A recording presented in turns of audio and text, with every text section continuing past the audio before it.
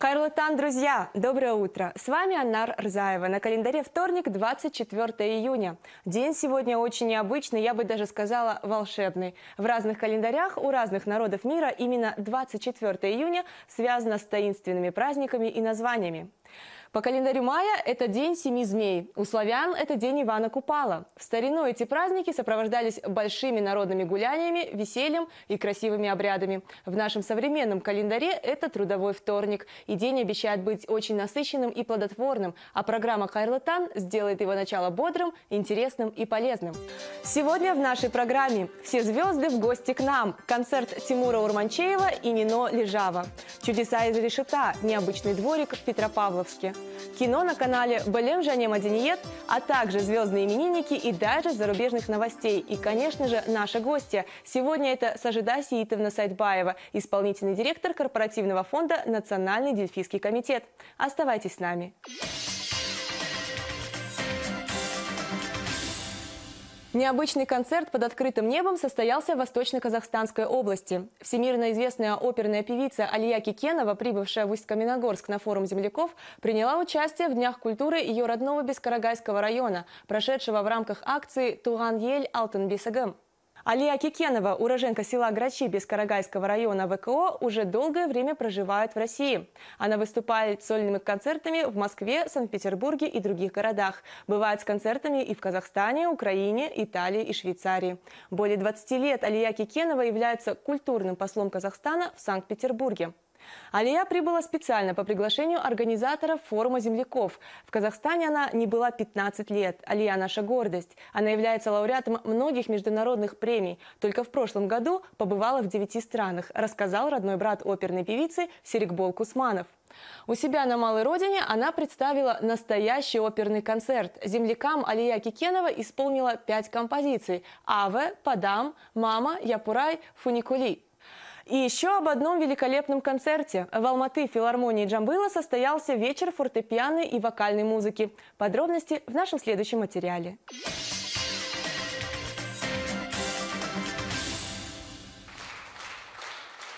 Настоящий праздник любителям классической музыки преподнесли заслуженные деятели Республики Казахстан пианист Тимур Урманчиев и певица Нино Лежава, обладательница выдающегося лирического сопрано.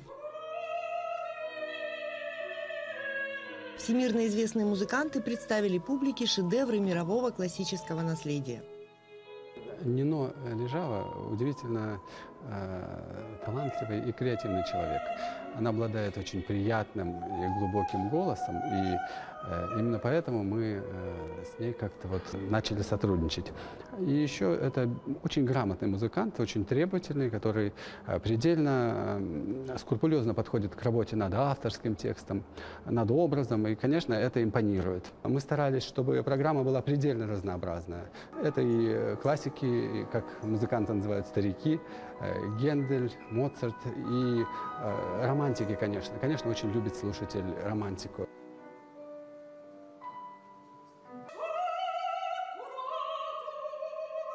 Нино Лежава, блестящая исполнительница опер Моцарта и Верди, совмещает концертную деятельность с почетной должностью заместителя художественного руководителя Международной академии пения в Италии. Тимур Урманчиев, выдающийся пианист, лауреат международных конкурсов, является художественным руководителем ряда крупнейших музыкальных проектов таких как «Времен связующая нить» и Международный фестиваль искусств «Астана Кыштыре», прошедший с 20 по 22 июня в столице.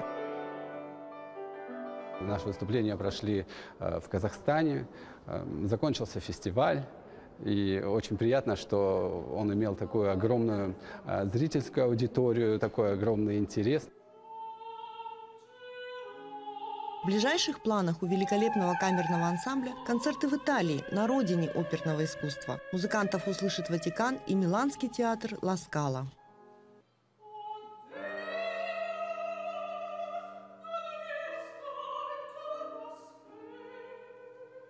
Лирическая сопрано – это вообще э, среди женских голосов, понятно, номер один. Всегда было, есть и будет. И приятно слушать, и вообще приятно осознавать, что в Алмату приезжают такие люди. Спасибо им большое, спасибо организаторам, что привезли их. И мы сегодня получили истинное наслаждение, потому что Рахманинов, Моцарт, и в, испор... в исполнении тем более не но, но это дорогого стоит. И почаще бы таких нам а, замечательных событий.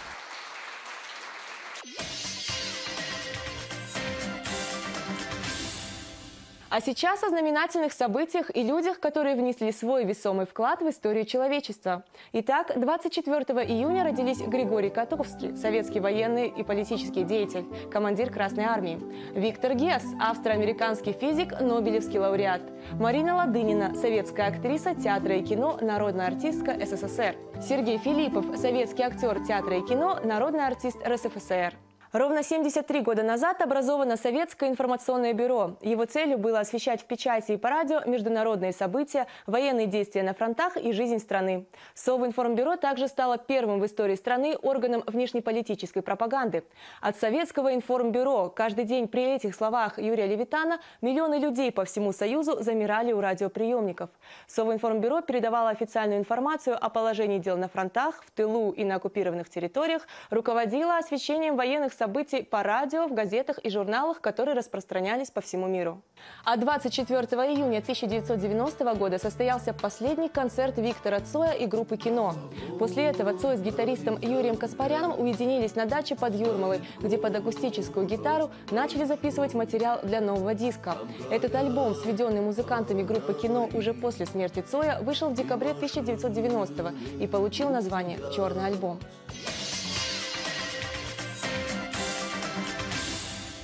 Чили обнаружено крупное захоронение останков динозавров среди ледников. Свою находку чилийские палеонтологи сделали на территории национального парка Торрес-дель-Пайне на юге страны в ходе первой экспедиции. Ученые рассказали, что речь идет о 46 экземплярах ихтиозавров, останки которых прекрасно сохранились до наших дней. Среди них одна особь с двумя эмбрионами длиной 15 сантиметров. По их мнению, это делает открытие почти уникальным. Помимо ихтиозавров, крупнейших морских рептилий эпохи динозавров, исчезнувших примерно 99 миллионов лет назад, ученые также обнаружили останки доисторического вида хищников. Хотя считается, что ихтиозавры вымерли в результате глобального изменения климата, ученые надеются, что их находки позволят найти ответы на вопросы, которые еще затрудняется дать палеонтология. И еще новости из дальнего зарубежья.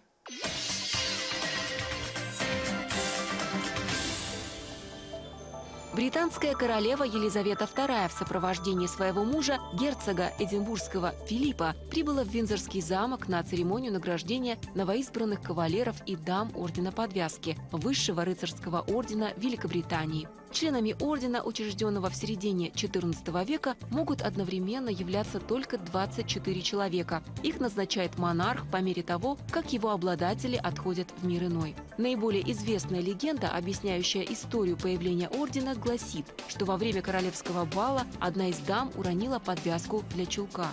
Придворные засмеялись, но король Эдуард поднял интимный предмет туалета и повязал себе. Его слова «пусть стыдится подумавший об этом плохо» стали девизом рыцарского ордена. Среди его новых кавалеров бывшие руководители Банка Англии и британской контрразведки Ми-5. Церемонию вручения наград посетил и сын королевы, принц Чарльз, а также ее внук, герцог Кембриджский, со своей женой Кэтрин Миддлтон, более известной как Кейт. Орден подвязки вручается монархам за достижения на государственной службе или услуги, оказанные непосредственно британскому суверену. Первым российским кавалером ордена стал император Александр I. Впоследствии им также наградили всех его потомков, занимавших престол.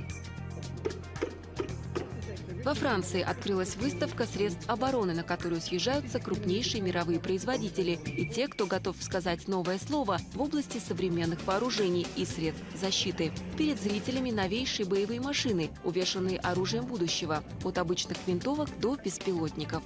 На выставке Eurosatory в пригороде Парижа Вейпинте свои изобретения представляют ведущие военные инженеры планеты.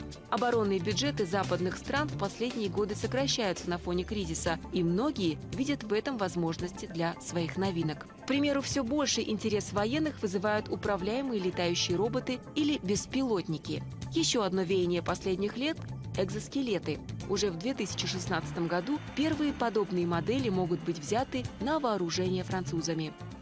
С помощью такой пары железных ног человек может без усилий нести до 40 килограмм. Экзоскелет не требует особых креплений и позволяет присесть, чтобы поднять ношу. Его гражданское предназначение очевидно. Военные тоже видят большие перспективы. Модель, предназначенная для гражданских целей, будет стоить на рынке около 10 тысяч евро.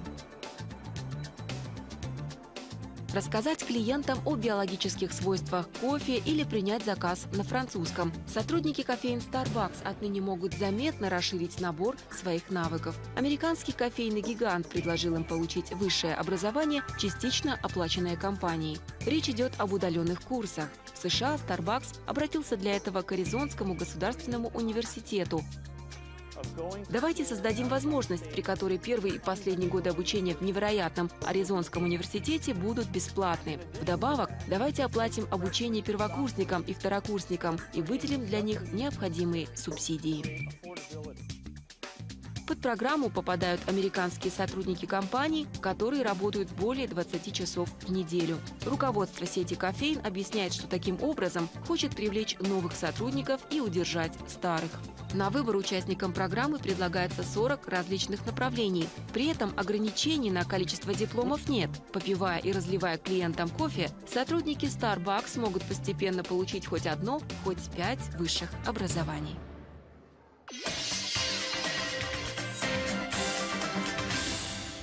В одном из дворов Петропавловска появился кусочек Африки. Его своими руками создали местные жители. Под окном многоэтажки выросла пальма, поселились слоны, драконы и черепахи. Все это сделано из бутылок и прочей рухляди. Нургуль Ахметова узнала, как в умелых руках ненужная вещь становится полезной.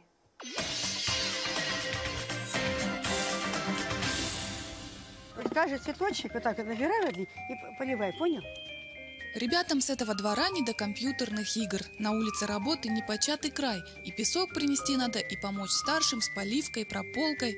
Мы гордимся этим двором, потому что как бы он самый красивый, в нем больше сделано декораций. Самая лучшая декорация – это лошадка. Пенсионерка Галина Гуреевна – местный дизайнер. Сначала творила у себя на даче, а теперь решила и двор благоустроить. Соседи поддержали. Бутылки собирали тоже все я приду, уже бутылки на дверях висят, уже и в подвале стоят, и уже и, и, и дворники собирали.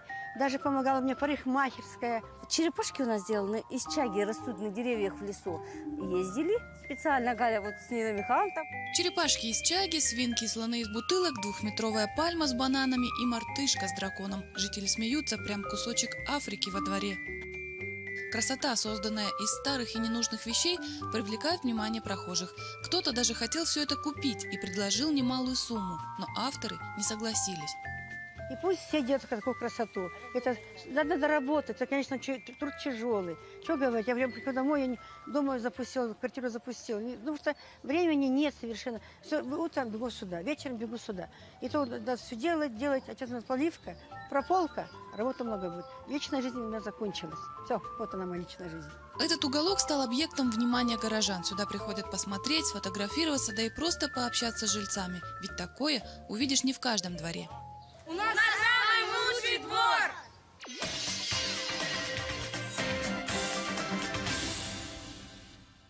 Доброе утро всем, кто присоединился к нам в этот час. С вами программа «Кайрлатан». И сегодня наши гости Сажида Сиитовна Сайдбаева, исполнительный директор корпоративного фонда «Национальный дельфийский комитет». Сажида Сиитовна, здравствуйте. Доброе утро. Я знаю, что совсем скоро, с 26 по 30 июня, в Уральске пройдут юбилейные 10-е национальные дельфийские игры. Расскажите, какие у вас планы? Ну, планы у нас в этом году юбилейные, соответственно, 10 лет – это, а, с одной стороны, для истории не такой уж большой срок, а с другой стороны, 10 лет – это когда ребенок э, осознает себя в мире, и наше движение, которому исполняется 10 лет, оно а, тоже завоевало свою нишу сегодня на территории Казахстана, на э, постсоветском пространстве и на территории стран СНГ. Поэтому мы мы будем праздновать, как это положено, с размахом, со свечами, с тортами и с салютами. А если говорить о играх, э, в этом году Дельфийский Уральск, э, который встречает, э, это огромная площадка культурная, с богатейшей историей. И мы не случайно в этом году будем отмечать наш юбилей в этом городе, потому что те нити, которые протекают, проходят через сам город Уральск, э, через этот регион. Они э, разно, разнообразные, разноплановые, как и наше мероприятие, как наш проект, потому что э, Дельфийские игры – это прежде всего мультикультурный форум искусств – который в международной сетке объединяет 42 номинации, и с каждым годом, э, в принципе, эти номинации растут, расширяются с учетом, опять же, времени, э, новых э, направлений, видов, потому что все имеет свойство преображаться, получать свои новые оттенки, и 42 номинации, я думаю, это уже ну, далеко не предел. В этом году были проведены первые европейские молодежные дельфийские игры, которые проходили э, тоже достаточно символично в городе Героев Волгоград э, в канун э, великого праздника Дня Победы. И хотелось бы здесь немножко забежать вперед и даже похвастаться, похвалиться. Это наша гордость. А, в этом году мы были представлены наибольшим числом участников на европейских играх. А, более того, а, эти игры, э, в них принимали 26 стран мира участие. То есть такие большие показатели. Наша команда заняла второе командное, общекомандное место, завоевала. Это мы прям гордимся этим. Ну, я тоже об этом читала, мы к этому вернемся чуть позже. А вот сейчас расскажите по поводу именно наших национальных игр, да, как растет э, число участников каждый год?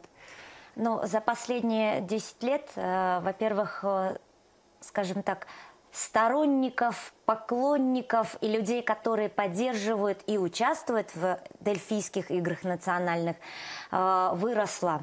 Э, это число, можно сказать, мы, мы сейчас молодежная армия, э, такая большая, творческая. А каким видом искусства дает предпочтение казахстанская молодежь сегодня? Ой, вы знаете, наша страна уникальная. Я э, люблю это повторять, я каждый раз говорю об этом с удовольствием и с гордостью. Она уникальна во всем а, в своих в э, широте своей территориальности, в, разно, э, в разнообразии наших, нашей многонациональности. И здесь, конечно, тоже есть немножко такое, я бы сказала, некоторое разделение. Вот, допустим, если на Западе очень э, хорошо и широко развито э, такие направления, как народные инструменты и народное пение, то, допустим, в регионе, э, как Алмата, ну, все-таки это культурная столица прежде всего нашей страны, да, здесь э, классика. Здесь предпочтение отдается классике современным жанрам. Каждый регион имеет свой нюанс. И это показывает нам когда вот игры проводятся, мы их каждый год проводим в разных городах.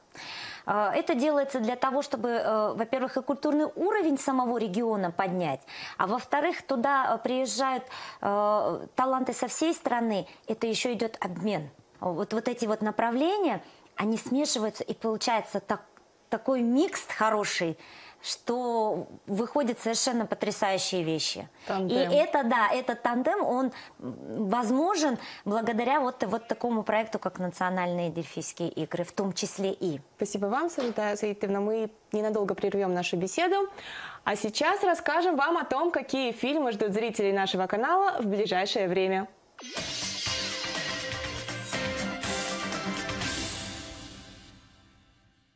В субботний день телеканал «Балимжане Мадинет» предлагает отправиться на один час в Московский Кремль. Московский Кремль – один из самых больших музеев мира. В его палатах и соборах хранятся государственные регалии России, бесценные иконы, сокровища русских царей. Этот порог не переступает никто, кроме священнослужителей. И лишь во время венчания на царство, ведомый архиереем, царь приходил сюда для причастия. Здесь находятся все главные реликвии страны. Шапка Мономаха, бриллиантовая корона Екатерины II, огромнейший алмаз Орлов, самый большой золотой самородок в мире весом 36 килограммов. Вы увидите царские патриаршие покои, домовые церкви русских князей и монархов. Смотрите в документальном проекте «Один час в Московском Кремле». В выходные вашему вниманию документальный фильм «Загадка Чехова» Личность великого русского писателя и драматурга Антона Чехова для многих наших современников и сегодня остается загадкой. Чехов – это как, вот, как проявляют фотоснимок. Он еще до сих пор до конца не проявлен. еще поколения могут работать над этим, находя в нем все новые, новые, новые грани, потому что его драматургия похожа на жизнь. Почему «Чайка» – самая жестокая пьеса в мировой драматургии? Человек должен быть верующим. Или, по крайней мере, искать веры. Почему в Японии после Хиросимы и Нагасаки первым театральным спектаклем стала пьеса Чехова «Вишневый Ну, сад»? прекрасно. Почему представители самых разных стран, культур, цивилизаций вот уже более ста лет обращаются к его пьесам? Что они в них находят и как интерпретируют чеховские тексты? С одной стороны, мне казалось, что тебя одолели несчастья разные. С другой же стороны, знаю, что ты не таковской, чтоб того. Любое драматическое произведение современно, когда оно создается, а чеховские, возможно, в особенности. Он писал так, как говорили, как воспринимали жизнь в его собственное время. Изменяя время действия, как мы сделали это в «Трех сестрах», ты приближаешь пьесу к зрителю, который смотрит ее сегодня. Точно так же, как его пьесы были близки людям, жившим в его время. Каким на самом деле был Антон Чехов, образ которого до сих пор неуловим и в портретах, и на фотографиях, и в биографии? На этот вопрос отвечают всемирно известные театральные режиссеры. Смотрите в программе «Загадка Чехова». Воскресный вечер смотрите фильм армянского режиссера Альберта Макарчана «Танго нашего детства». Фильм автобиографии, основанный на воспоминаниях режиссера Альберта Макарчана и его родного брата, известного киноактера Фрунзика Макарчана, рассказывает историю их родителей. Надо мной люди смеются. Послушай своего отца. Брось театр. Театр брось. Паспорт отдай. Фрунзик Макарчан сыграл одну из главных ролей. Главный герой возвращается с войны, но не в свою семью, а к женщине, которая спасла ему жизнь. Нелепые и беспомощные выходки детей и жены в попытках вернуть его доводят до трагедии. В тюрьму. Кто в тюрьму? Ты. Он тебе добра желает. Предупреждаю, не выводи меня из терпения. Иди немедленно. Он человек порядочный. Хочешь его подвести? Даже если от него убежишь, от меня не скроешься. Картина «Танго нашего детства» имела большой успех на Венецианском фестивале. Она получила сразу двух «Золотых львов» – лучший фильм и лучшая женская роль в исполнении Гали Новинс. В первые месяцы проката в 1985 году фильм «Танго нашего детства» посмотрело 3 миллиона человек. Они все одинаковые.